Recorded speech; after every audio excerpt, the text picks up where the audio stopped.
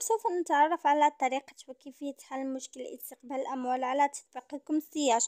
نقوم بالضغط على ضبط الإعدادات بعدها سوف نضغط على التطبيقات ثم سوف نقوم بالنزول إلى الأسفل والبحث عن سياج خاص بكم نضغط عليه هكذا.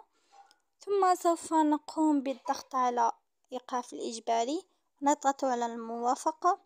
ثم سوف نقوم بالنزول إلى الأسفل وضغط على مكان التخزين بعدها سوف نضغط على مسح التخزين المؤقت. ثم سوف نقوم بإيقاف وتشغيل هاتف خاص بكم. بعدها سوف نذهب إلى متجر جوجل ثم سوف نبحث هنا عن سياج خاص بكم. سوف يظهر لنا هذا الشكل.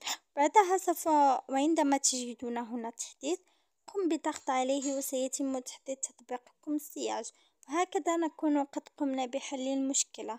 أراكم في الفيديو القادم إن شاء الله. ولا تنسوا الضغط على زر لايك والاشتراك في القناة.